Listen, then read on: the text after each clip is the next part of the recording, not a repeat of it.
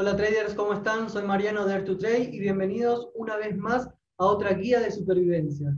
En el episodio de hoy hablaremos de los tipos de órdenes de acciones que existen o pueden ejecutar en los mercados para comprar o vender algún activo en particular.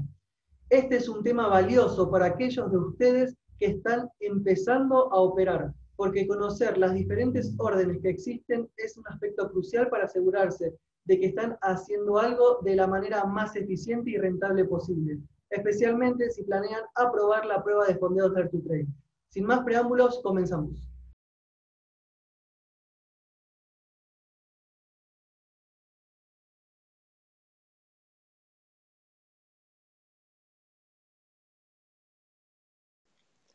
Como se mencionó, el proceso de leer las cintas ha cambiado a lo largo de los años, pero aún a los traders les encanta leer las cintas. Simplemente el método ha cambiado. ¿Pero qué es leer cintas? Bueno, leer las cintas es generalmente una palabra que representa prestar atención al número y tipo de órdenes que se realizan en el mercado y el precio acordado por los compradores y vendedores. Básicamente se trata de prestar atención al flujo de órdenes que van y vienen o que esperan ser ejecutadas en el mercado. Podemos pensar que leer es estar al tanto de todas las diferentes órdenes que entran y salen en un momento dado. El concepto de la lectura de cintas surgió por primera vez a finales de la década de 1860, por lo que ha existido durante bastante tiempo. Fue entonces cuando los traders comenzaron a usar las cintas ticket tape para transmitir información sobre el trading. Los expertos consideraban a Edward Callahan como el padre de la lectura de cintas. En ese entonces era empleado de American Telegraph Company. La técnica de lectura de cintas se generalizó en el año 1869. En ese año fue en que Thomas Edison desarrolló el primer stock ticket. Poco después, estas prácticas máquinas se instalaron en todas las principales casas de bolsa de los Estados Unidos. La cinta de cotización incluye información intradía como el símbolo del ticket, el precio y el volumen. La lectura de las cintas siguió siendo muy poderosa en el proceso del trading para transmitir información sobre las operaciones, hasta que los mercados se volvieron electrónicos. Hasta cierto punto, en ese entonces la lectura de cintas se volvió obsoleta. Tan pronto aparecieron las redes de comunicación que se introdujeron en la década de 1970 el auge de las computadoras y los medios de comunicación hicieron que los mercados fueran más accesibles para los traders y no requirió el antiguo método de lectura de cintas. Sin embargo, la lectura de cintas no es del todo una cosa del pasado. Hoy en día todavía los utilizan los traders de todo el mundo, pero lo hacen a manera de libros de órdenes electrónicas, que es en lo que nos enfocaremos a continuación. ¿Qué hace que la lectura de cintas sea tan útil para nosotros como traders? Bueno, la realidad es que los beneficios potenciales realmente radican en la capacidad de analizar la cinta para darnos una comprensión más clara del entorno del mercado, así como el comportamiento de los participantes del mercado. Estos participantes son los traders, muestran lo que están haciendo en el mercado, ser conscientes de sus órdenes, dónde se encuentran y cuándo están interesados en ejecutarlas. En el mundo del day trading generalmente hay una gran división entre lectores de cintas y chartistas. Los chartistas son los traders que están especulando mediante el uso de indicadores o cualquier información que decidan analizar en una gráfica de precios. Así y así tener una idea hacia dónde se dirige el mercado. Luego están los lectores de cintas. Los lectores de cintas no están mirando directamente la trayectoria histórica del precio en una gráfica. En lugar de esto, están analizando el flujo de las órdenes y la ubicación deseada, donde los traders requieren que se ejecuten sus órdenes. El beneficio de la lectura de cintas para el day trading es que pueden obtener acceso a datos intradía en tiempo real. Esto es invaluable para los, previsores de precios a corto plazo. Cuando se combina una estrategia de trading a largo plazo, la lectura de cintas puede ayudar a mejorar la eficacia y lo hace confirmando o rechazando nuestra teoría sobre una base intradía. Esto lo convierte en una herramienta muy útil para completar cualquier tipo de estrategia de trading a largo plazo, cuando se lo hace correctamente. A muchos day traders avanzados les gusta leer las cintas porque les ayuda a, detectar prácticas de trading indeseables, como por ejemplo la manipulación de precios o cancelaciones de órdenes. Si entienden cómo leer las cintas, es muy posible que puedan evitar algún tipo de manipulación de precios que se les presente. En la actualidad, la mayoría de los traders emplean técnicas modernas de lectura de operaciones en algo llamado libros de órdenes electrónicas. Aparte de la información presente en las cintas de ticket de la vieja escuela, los libros de órdenes electrónicas también incluyen datos de órdenes no ejecutadas, lo cual es enorme. La lectura de cintas antiguas no incluía este tipo de información, las órdenes no ejecutadas, básicamente porque no podían poner por el que el tamaño de la hoja sería infinitamente larga. En la época actual, ahora podemos ver órdenes que no se han ejecutado, pero que los traders definitivamente están interesados en ejecutar. Y esa información puede ser muy, muy valiosa. La gran cantidad de información que proporciona la lectura de cintas modernas también puede ayudar a los day traders a vislumbrar la forma en que otros participantes del mercado se están situando actualmente en un instrumento en particular que están analizando y que a su vez pueden conducir a una mejor predicción de los movimientos del precio. ¿Cómo funciona la lectura de cintas? Bueno, entender la lectura de cintas no es realmente una ciencia espacial. De hecho, los conceptos básicos de la lectura de cintas son relativamente simples.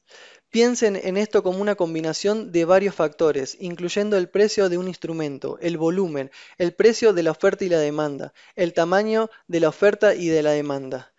Cuando combinamos estos factores, los traders obtienen una imagen más completa del mercado. Ahora, la parte difícil de todo esto es entender cómo combinar todos estos factores de una manera efectiva. Y para ello, lo primero que suelen hacer los traders es prestarle atención a algo llamado tiempo y ventas, que es lo que implementamos en la gráfica al comienzo del video. La información de tiempo y venta indica datos de tiempo real sobre la marca de tiempo de la transacción, los niveles de precio, el volumen de operaciones de cualquier instrumento al que han aplicado y también muestra el mejor precio de la demanda u oferta. En pocas palabras muestra información sobre transacciones. Sin embargo, esto no dice mucho sobre lo que está sucediendo en el mercado financiero por sí mismo. No muestra la estructura del mercado o la acción del precio. Para obtener una imagen más clara, los operadores también miran la profundidad del mercado, que fue el otro widget que configuramos en nuestro gráfico. La profundidad del mercado completa la información del tiempo y de ventas al revelar más detalles sobre el proceso de subasta de la profundidad del límite de orden. Esto nos muestra la oferta y la demanda de cualquier instrumento que estamos analizando. El DOM es otra forma en que se, hace referencia a esta herramienta.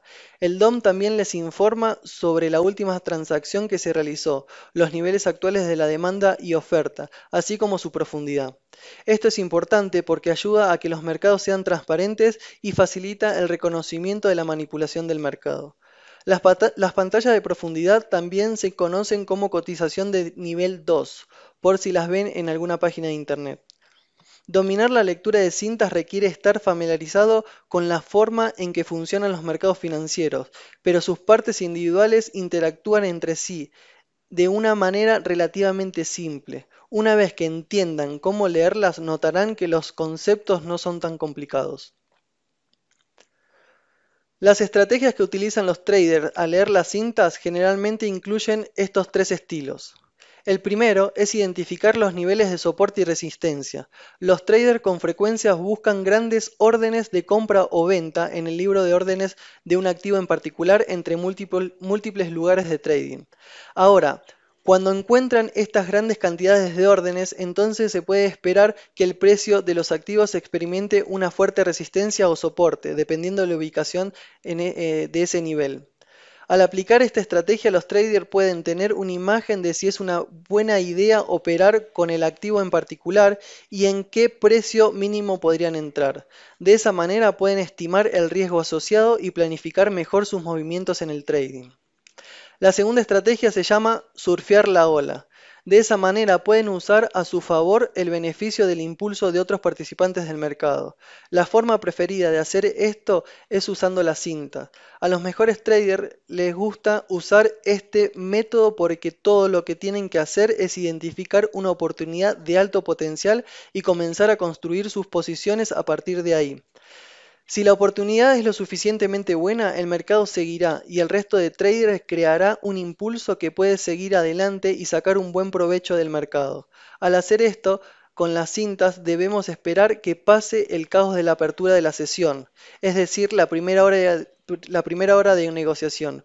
Luego podemos empezar a mirar instrumentos que comienzan a tomar un poco más de decisión.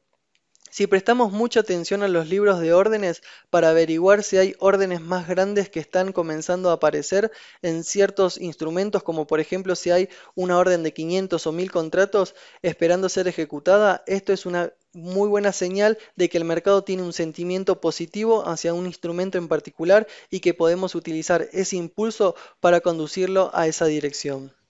Y por último, tenemos eh, digamos que podemos desarrollar una estrategia que nos permita evitar dejar una posición rentable antes de tiempo. Digamos que esto no es una estrategia para entrar al mercado, sino para maximizar potencialmente nuestro beneficio en una posición que ya estamos manteniendo a largo plazo. La forma en que la lectura funciona es prestando atención a la cinta con respecto a los movimientos que están realizando el precio, lo que significa que si tenemos una operación abierta, digamos que estamos operando en un largo con un activo en particular y comienza a ir en nuestra, nuestra contra, normalmente podríamos cerrar la operación en algún rango de precios porque estamos usando un stop loss. Pero si primero consultamos las cintas antes de cerrar nuestra posición, podríamos darnos cuenta de que solo puede ser un impulso temporal en nuestra contra y podría haber una gran cantidad de órdenes de compra esperando para impulsar el mercado nuevamente a nuestro favor, impidiendo salir y siendo engañados por la caída temporal eh, y dejándonos, digamos, permanecer en, la, en nuestra operación para continuar nuestro viaje al alza. Ser un lector de cintas competente conlleva ventajas notables, como por ejemplo el hecho de que es una gran herramienta para conocer los precios con mayor participación de órdenes. Una comprensión básica de cintas le proporciona suficiente información para obtener una representación clara de los, fundamentos intradía, las zonas de oferta y demanda y el volumen de operaciones, en una frecuencia de operaciones determinada. Cuando dan un paso adelante y se convierten en los mejores lectores de cintas, pueden reconocer la creciente expresión de los precios que puede realizar la oferta o la demanda antes de que sucedan. También pueden sacar conclusiones del número de órdenes canceladas justo antes de la ejecución, simplemente por aprender a leer cintas. Además, ayuda a los traders a controlar sus salidas. Los day traders que carecen de experiencia con frecuencia luchan por el principal problema, permanecer por mucho tiempo en una operación. Y es solo un tema de egos. Es el deseo de tener la razón y las emociones lo sesgan. Dejarse llevar por el calor del momento es lo que hace que los traders se mantengan demasiado tiempo en una misma operación. Cuando están leyendo las cintas, esto nos ayuda a superarlo y nos hace mejores traders a corto plazo, ya que podemos estar viendo un posible movimiento poderoso porque vemos todas esas órdenes de venta esperando ser ejecutadas en nuestra contra, evitando así el mantenernos por más tiempo en una misma operación. La lectura de cintas podemos decir que es adecuada tanto para principiantes como para profesionales. Este es un concepto relativamente simple. La idea de leer una cinta es simple porque la poca cantidad de información que cubre, pero este tipo de información es tan increíblemente valiosa, lo que hace adecuada tanto para principiantes como es porque es fácil de entender, como para profesionales porque es muy útil. En cuanto a las posibles desventajas, la primera es que puede considerarse difícil de navegar usando el tiempo y ventas y el DOM, al menos o por lo menos al principio, pero en general todo en nuestra carrera del trading es difícil al principio. Se convierte en algo muy común una vez que lo hayamos utilizado varias veces. Al principio, el tiempo y venta, además de la profundidad del mercado, pueden parecer otro idioma, pero a medida que prestamos atención a las órdenes que van y vienen se vuelven más comprensibles y este idioma eh, se facilita y en este idioma nos facilita mucho el trabajo. La segunda desventaja es que requiere un enfoque láser. En un mundo en el que se realizan miles de transacciones en cuestión de milisegundos y una gran cantidad de, operaciones se realizan por algorítmicos de por programas, hace que sea un proceso muy rápido al que prestar atención. Los números cambian constantemente y las cosas se mueven constantemente hacia arriba y hacia, abajo. Pero es lo mismo que analizar una gráfica de precios. A veces mirar el tiempo y venta y además la profundidad del mercado puede ser abrumador para un trader nuevo porque hay muchos números que están cambiando. Por eso el, requisito de un enfoque para analizar las cintas es más alto que para analizar una gráfica de precios. La tercera desventaja es su ineficacia como herramienta de análisis independiente. Esto significa que solo con la lectura de cintas no es suficiente. Generalmente debemos apoyarnos de otras herramientas para decidir si queremos o no comprar o vender en el mercado. Esto es algo que aplica a casi cualquier estilo de trading. Como traders no queremos depender únicamente de una sola herramienta de información. Siempre es buena idea tener otros factores de confirmación antes de ejecutar nuestra orden y esto nos ayuda a filtrar algunos posibles errores. En resumen, las tres órdenes principales a tener en cuenta a medida que van avanzando en su carrera como trader son las órdenes a mercado, las órdenes limit y las órdenes de stop. Las demás órdenes que estuvimos hablando básicamente son variantes o versiones de cómo utilizar estas órdenes simples, básicamente para comprar o vender a precios específicos o tan pronto esté disponible, o por limitaciones de tiempo como se mencionó, se mencionó anteriormente. De cualquier manera, siempre es bueno practicar en una cuenta de simulación antes de empezar a operar en real.